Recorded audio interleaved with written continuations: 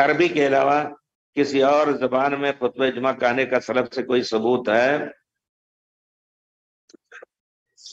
आ, मैंने इसका ज़िक्र किया है कि बहकी वगैरह ने ज़िक्र किया है कि फार फारस वगैरह जब फतेह हुआ तो उस वक्त तक उन लोगों को इजाज़त दी गई।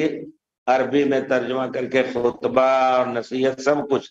लेकिन कुछ ही दिनों में मुसलमानों को जो एक तरीके तालीम था कुछ ही दिनों में सब अरबी समझने लगे। तो अरबी में हुआ करता था। लेकिन ये कि, ये माना कि खुतबा चूँकि होता है लोगों को समझाने के लिए, इस माने में भी अगर आप सोचें तो ये मकसद जो है, कहते हैं, अहकाम जो घूमते हैं, वो किसी सबब की बिना पर।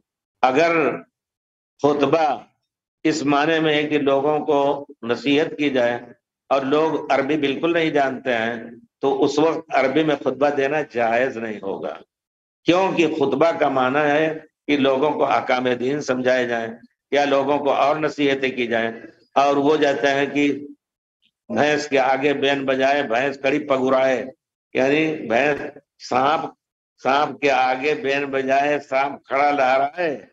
वो है कौन दो एक साहब थे जिन मुसलमान भी उनको लोग कहते थे का नाम भी कुछ ऐसा है कबीर दास उनके दोहे में ये भी है कहते हैं कि भैंस के आगे बैन बजाए भैंस खड़ी पगुराए यानी जुगाली लेगी और सांप के आगे बैन बजाए सांप खड़ा लहराए तुलसी बिरवे बाग में की चीचक पे कमिला है तुलसी बिरवे बाग में, बिरवा ने तो पौधा, नरम पौधा, बाग में रहे, उसको आप सींचो तो वो सूख जाता है। रहे भरोसे मौला के तो पर्वत पर हरिया है वहाँ के भरोसे कोई सींच नहीं रहा।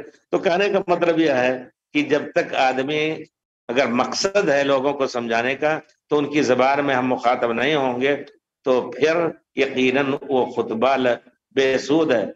इस हिकमत की बिना पर पुराने उलमा ने अता इबन रबा या ताबीन वगैरह ने फतवा दिया है कि उनकी जबान में खुतबा दिया जाए। और मैं कहता हूँ कि आप लोग कहते हैं और आपकी किताबों में भी है। हमारे भाई पूछने वाले जो हैं, वो हनफी मसलक से होंगे। हनफी नहीं बंदे मसलक से होंगे, क्योंकि इमाम बोनीफा रहमतुल्लाह की तरफ़ मंसूब है कि अगर कोई शख्स नमाज़ फारसी में पढ़ता है तो सही है। लफ्ज आप जाकर के देखें, किताबुल असल, जो डायरेक्ट इमाम से पूछे पूछी हुई, पूछे हुए असला का मजमुआ है। इमाम मोहम्मद बिन हसन शहबानी कहते हैं कि आदमी फारसी में सलाद पढ़ रहा है तो जायज़ है। कहते हैं हाँ जायज़ है। अल्लाह बुज़ुर्ग तरस। अल्लाह अकबर का तर्जमा, अल्लाह बुज़ुर्ग तरस। और फिर सूर्य फातिहा तो पढ़नी वाजिब नहीं अनफी मज़हब में। कुछ भी पढ़ ले थोड़ा सा। तो मुदहाम मतान का तर्जमा, मुदहाम मतान एक छोटी सी एक लफ्ज की आयत है सूर्य रहमान में। मुदहामतान के माने कि दो सब्ज बाग हैं। तो उसको फारसी में दो बाग सरसब्ज अल्लाह बुज़ुर्ग तरस, रुकू कर लिया। रुकू में कुछ भी नहीं पड़ा। रुकू कहते हैं इनहेना। सजदा कहते हैं, ये आप जाकर के कदूरी शरीफ के हाशिए में देखिए, साफ़ तफसीर लिखी है कि अगर नहीं कुछ पढ़ा, नमाज़ सही है। तो जो आप नमाज़ जो इतनी अहम चीज़ है, उसको फारसी में पढ़ने को जायज़ समझते हैं तो हम कहेंगे आप इस किस्म के सवाल कभी ना उठाइए। आप अरबी में खुतबा देने को जायज़ समझिए। उर्दू में और अरबी में वही होगा कि भैंस के आगे बैन बजाए वाली बात